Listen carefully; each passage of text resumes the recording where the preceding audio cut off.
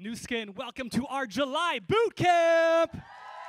Nu Skin, good morning. How do you guys feel?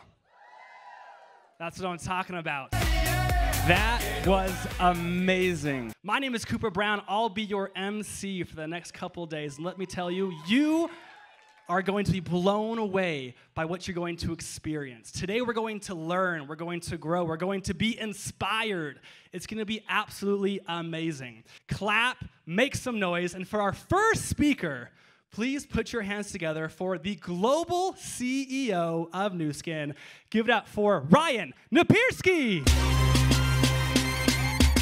And I've been told by many people, and I've seen it myself, that there is no stronger servant leader here at Nu Skin than this gal I'm about to introduce.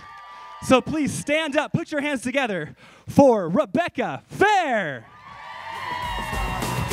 In just a moment, we're gonna break for lunch. And while you guys are breaking for lunch, I want to remind you to connect with other people outside of your teams. Tom Ford said the most important things in life are the connections you make with others. I want you guys to raise your hand if you have learned valuable content this week. Keep your hands up if you have met new friends this week. And keep your hands up if you guys are going to implement what you learned to change your future. That's what I'm talking about. Nu Skin, thank you so much. Please clean up. Enjoy the rest of your day. Thank you so much. See ya.